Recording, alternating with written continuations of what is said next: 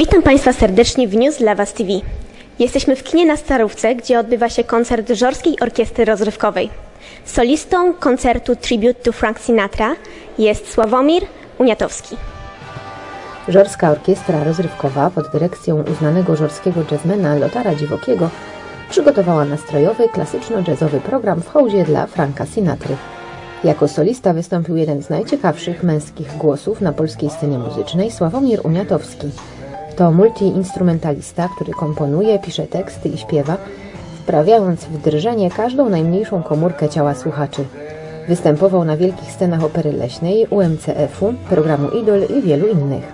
Śpiewał utwory Franka Sinatry na koncercie z okazji setnej rocznicy jego urodzin, a także z orkiestrą Adama Sztaby czy w towarzystwie Grzegorza Ciechowskiego. W duecie zaśpiewał z takimi sławami jak Maryla Rodowicz, Kaja czy Ewa Bem. Żorska publiczność entuzjastycznie przyjęła jego występ.